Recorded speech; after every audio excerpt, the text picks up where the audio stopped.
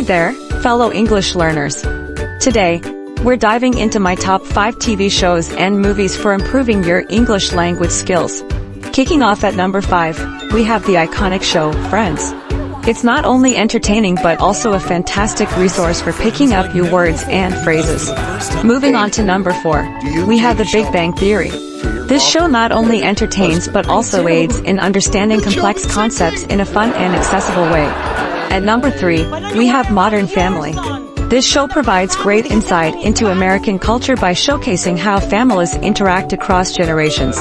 Breaking Bad takes our number two spot.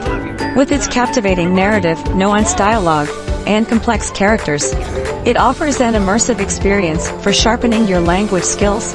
And finally, at number 1, we have Two and a Half Men. This show reigns as our top pick due to its witty humor, everyday dialogue, and relatable characters making it an excellent resource for improving language skills in a lighthearted setting. So there you have it, these 5 TV shows and movies are fantastic for English language learners. Looking to expand their vocabulary and improve their listening skills. Give them a watch or binge watch, and you'll be speaking like a native in no time. Thanks for tuning in, and remember to follow and subscribe for more awesome content like this one.